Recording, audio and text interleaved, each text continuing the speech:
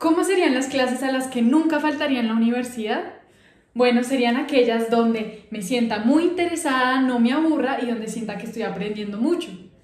Los estudios demuestran que todas las personas se concentran máximo 25 minutos en una misma tarea.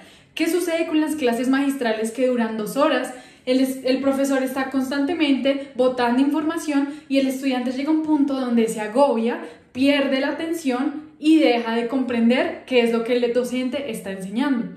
Por eso, mi recomendación es que en estas clases cada 25 minutos se dé una pausa de al menos 3 minutos donde el estudiante pueda descansar su mente, cambiar de actividad y poder, si quiere, retomar los apuntes que se vieron en los 25 minutos previos.